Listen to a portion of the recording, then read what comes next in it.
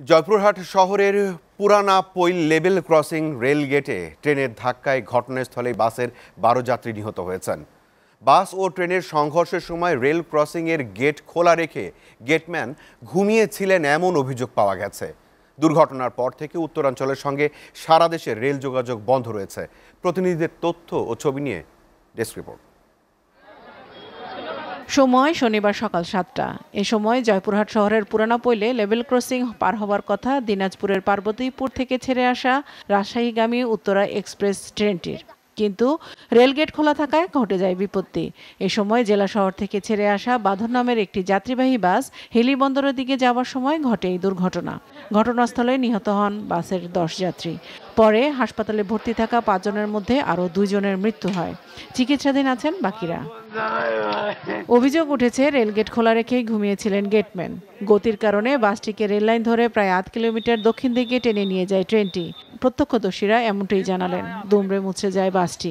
দুই ভাই যাচ্ছিল আপনি ঢাকা গেছিল ছোটটাকে ভর্তি করানোর জন্য ইউনিভার্সিটিতে।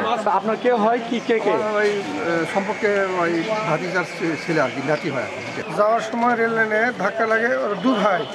দু ভাই একটা বড়টা ওনার নাম বাবু ছোটার নাম রাব্বি। জমার বাড়ি আটুল রাজশাহীগামী লোকাল উত্তরা ট্রেনের সঙ্গে লোকাল বাসের সঙ্গে সহায় প্রায় দশজন দশজন স্পটেই মৃত্যুবরণ করেছেন। ঘটনাস্থল পরিদর্শন করে স্থানীয় পুলিশ সুপার জানান গেটম্যানের অসচেতনতা ও অবহেলায় এত বড় দুর্ঘটনা। কেন এই দুর্ঘটনা ঘটেছে এটি তদন্ত করা হচ্ছে এবং সংশ্লিষ্ট কর্তৃপক্ষ এই ব্যাপারে যথাযথ আইনগত ব্যবস্থা নেবে। শীঘ্রই আমরা যোগাযোগের মাধ্যমে চেষ্টা করছি যাতে দ্রুত এই লাইনটি আবার ঢাকার অন্যান্য জায়গার সাথে বা বাংলাদেশের বিভিন্ন জায়গার সাথে যোগাযোগ স্থাপন করা যায়। জেলা প্রশাসক জানালেন নিহতদের পরিবারকে বিশ হাজার টাকা করে ক্ষতিপূরণ দেওয়ার কথা। ঘটনা তদন্তে তিন সদস্যের কমিটি গঠন করা হয়েছে। SCTV news desk.